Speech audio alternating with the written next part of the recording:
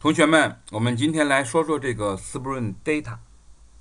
首先呢，说说这个 Spring Data 是什么？Spring Data 像 Spring MVC 一样，像 Spring Security 一样，它是 Spring 的一个子项目，它用于简化数据库访问。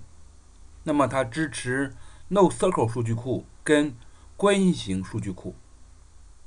它支持的 NoSQL 有 MongoDB、NoSQL、Redis、HBase。它支持的关系数据访问技术有 JDBC、JPA。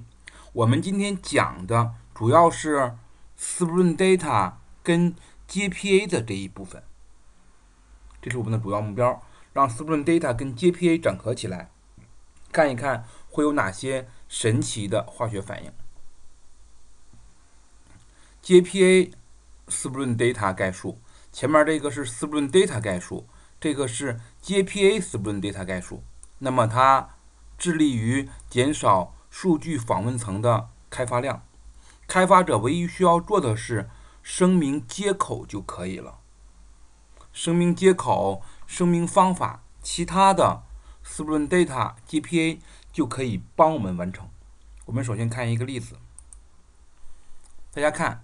我这块儿的话呢，有一个 person，我这个 person，啊，用的是 JPA 进行映射，然后呢，我声明了一个接口，这个接口叫 person repository，里边我声明了一个方法，就什么呀，get by last name，根据 last name 来查找这个 person，这就行了。当然，我里边的话呢，需要有一些通用的配置，这个的话呢，一会儿我们会讲。然后就可以来进行测试。走起，我们看到了 select 以及打印这个 person 的信息，这就是 Spring Data。它能做的不只是这些，我们想知道的分页、增删改查以及待查询条件的分页，都可以用 Spring Data 给我们完成。好，一会儿的话呢，就开始。